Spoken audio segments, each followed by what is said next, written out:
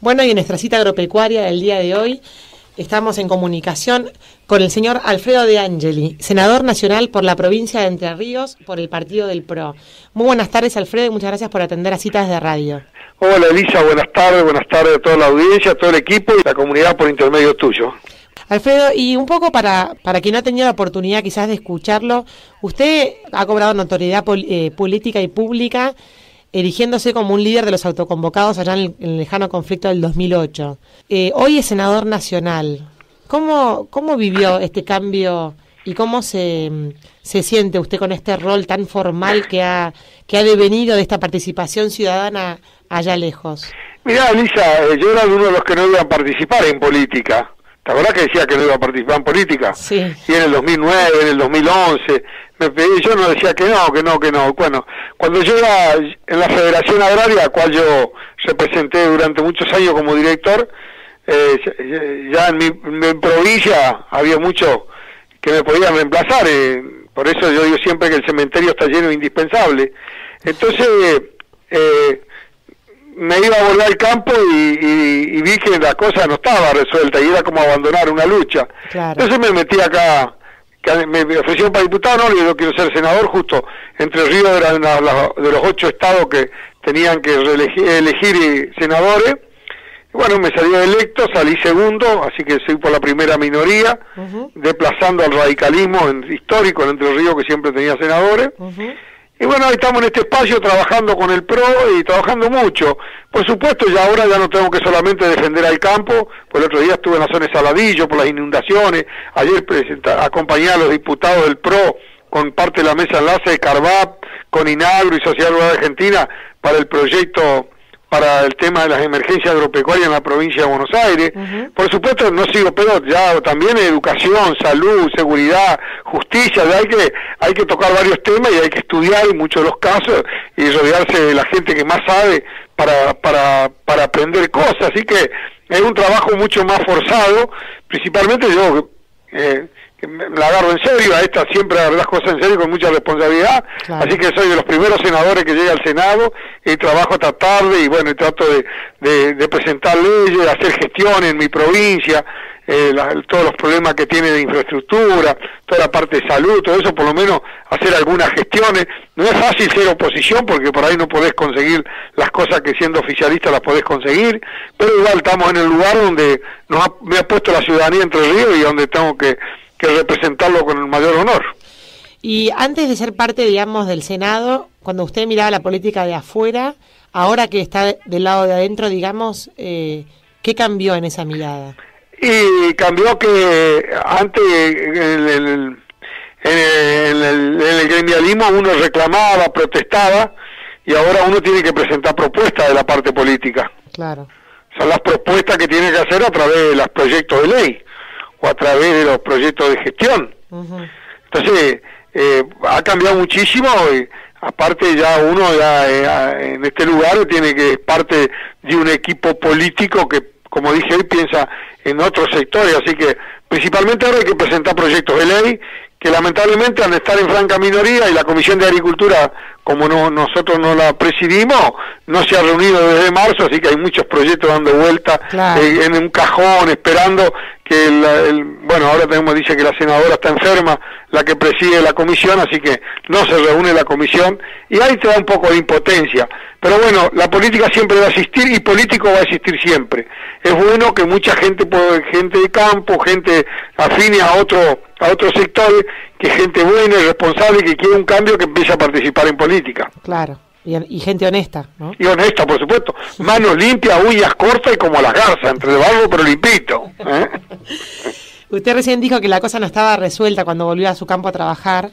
Hoy, el 2014, eh, ¿qué considera que le faltó capitalizar al sector agropecuario desde aquella histórica 125? No, yo creo que por ahí cometimos errores las entidades de no presentar un proyecto en conjunto, entonces por ahí no pudimos presentar cuando fueron los muchachos de diputados.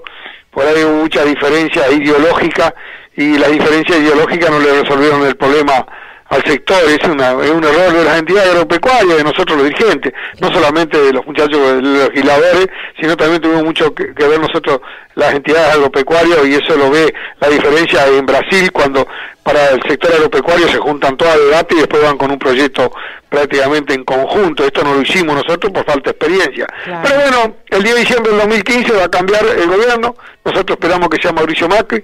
Queremos trabajar con María Eugenia Vidal en la provincia de Buenos Aires, con Miguel de Ser en Santa Fe, con Baldarcia en Córdoba, con Macalister en La Pampa, con Cáceres en, San Juan y un montón de compañeros más eh, del PRO que están trabajando y queremos Mauricio Macri ha prometido eh, y, en, el proyecto Mauricio Macri está que el campo de hoy por hoy es el que más rápido le va a dar la divisa que necesita el país para resolver el problema de educación, salud, seguridad, infraestructura y por eso va a apostar al sector agropecuario. Y si nosotros, este gobierno no hubiera ido en contra del campo y hubiéramos crecido como creció Uruguay, Brasil y Paraguay, eh, hoy le hubiera perdido de ingresar 200 mil millones de dólares. Vos fijate con 200 mil millones más de dólares, ¿qué problema podría haber eh, en este, este gobierno? No tendría problema. Y eso Mauricio Macri lo tiene claro.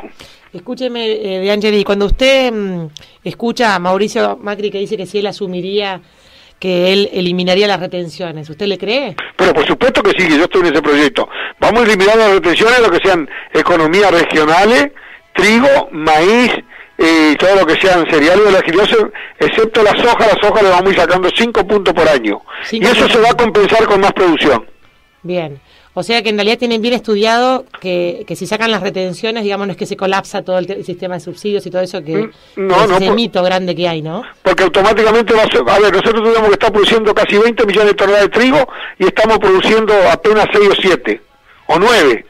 Vos fíjate el saldo exportable que tuviera, entraría, entraría mucho más divisa.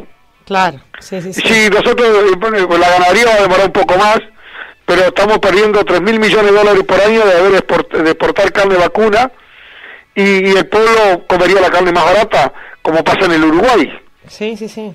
Y, y, con la leche pasaría exactamente lo mismo tuviéramos que estamos en 11 mil millones de litros de leche como hace 14, 15 años atrás, tuviéramos que estar produciendo cerca de 20 mil millones de, litros de leche y ahí serían 5 mil millones más de dólares que estarían ingresando por los subproductos de leche que estamos exportando. Claro. Nosotros, el gobierno argentino le ha hecho un beneficio al Uruguay por el tema de ganadería inmenso. Y le ha hecho un beneficio a Estados Unidos con el tema del trigo inmenso porque le están exportando a trigo. El, Brasil está comprando el trigo de Estados Unidos. Claro, sí, sí. así que la verdad que este gobierno eh, cerró las puertas y lo único que hizo fue encerrarse adentro y, y, está empobreciendo al pueblo y no le está cuidando la mesa a los argentinos. Eh, Alfredo, ¿y qué, qué opinión le merece la última asamblea que hubo en, en Bolívar hace poquito, había muchos muchos productores muy preocupados por el tema de la inundación de la provincia de Buenos Aires. Bueno, eh, por supuesto, me hago solidario, yo no pude ir ese día, me hubiese quedado encantado ir, pero tenía otros compromisos. Bueno, yo creo que los productores, la fuerza la tiene el pueblo, los productores tienen que seguir juntando, tienen que trabajar eh, yo con María Eugenia de Vidal, otros días en Saladillo anduvimos recorriendo, viendo todo la, la, falta que hacen las obras de arte para que no, no se inunden de, tal de tal manera de esos campos, tiene que haber obras de arte. Eso está contemplado dentro del plan de gobierno de María Eugenia Vidal, si es gobernador de la provincia de Buenos Aires. Ah, o sea que está confirmada su candidatura para la provincia. María Eugenia sí está trabajando fuertísimo en eso. Es un proyecto que tiene y por eso fuimos a Saladillo a ver y ella recorre otro otros partidos de la provincia de Buenos Aires están viendo, hay muchos proyectos que están que hay que ponerlos en marcha nomás. Por supuesto, eh, y, y, también ayer lo hablábamos con la, comisión de diputados esta que tuvimos con la mesa enlace, de, tiene que ver la emergencia que hoy por hoy es solamente una ayuda espiritual, por el único que hace prorrogarte eh, eh, prorrogarte los vencimientos para el año que viene. Claro pero eso no alcanza, no alcanza para nada, porque ahí tenía que ver un, un, un, crédito del Banco Nación o el Banco Provincia prácticamente a tasa cero para que pueda pueda seguir trabajando, pero por supuesto hay que trabajar también en un, seguro multirriesgo, eh, por ahí me dice que no da para que sea obligatorio, pero que sí sea voluntario para que muchos productores puedan entrar en ese seguro con una, una póliza subsidiada por el Estado, principalmente los más chicos, para cuando pase un desastre de sequía o granizo estén contemplados y no desaparezcan. Hay muchas cosas para hacer dentro de nosotros de los proyectos que tenemos entre el PRO y la verdad que estando en ese lugar me siento útil para trabajar por el sector agropecuario, pero también tengo que trabajar por salud, seguridad, cómo combatimos la pobreza, cómo combatimos el narcotráfico, todas esas cosas que que yo las escuchaba y ahora tengo que estar estudiando y trabajando en un gran proyecto para, para terminar con ese flagelo que nos está arruinando a la juventud de Argentina. Me acuerdo de Angeli que usted cuando decía que, la presidenta estaba mal asesorada, ¿no? Y usted lo, lo, escucho que está estudiando, está trabajando, me imagino que, que está aprendiendo muchísimo con todo este nuevo rol. Que Pero por supuesto, por supuesto y trato de rodearme con la, la, gente que más sabe, principalmente que sepa más que yo. Claro. Eh, y por ahí hay el, el egoísmo y el y la soberbia siempre se trata de reunir con gente que sabe menos que uno.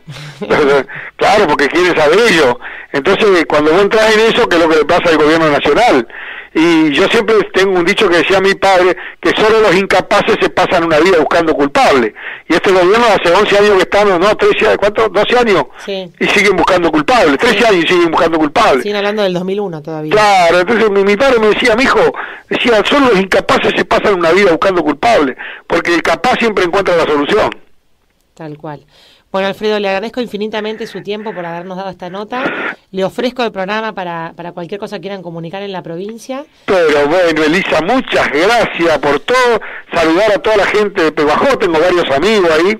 Este, así que tengo muchos amigos que conocí en el 2008, quiero saludar a toda la gente que está escuchando, más allá de Peguajó, y saludarlo y decirle que, bueno, que la política es la herramienta para cambiar las cosas. Yo en las cuestiones personales no iba a participar en política, pero le digo a algunos amigos que hace falta que tengamos mucha gente del sector agropecuario y de otros sectores participando en política y principalmente con los, valores y los principios que nos enseñaron nuestros padres para limpiar a la política de la gente que por ahí que no, no merecería estar en política porque son gente que le gusta estar de socio con la corrupción. Nosotros tenemos que ser de la política un servicio y no servirnos de la política. Así que saludarte, Lisa, desearte de vuelta que tengas un gran día. Muchísimas gracias, Alfredo, que seguimos en contacto. Gracias a ti. Adiós.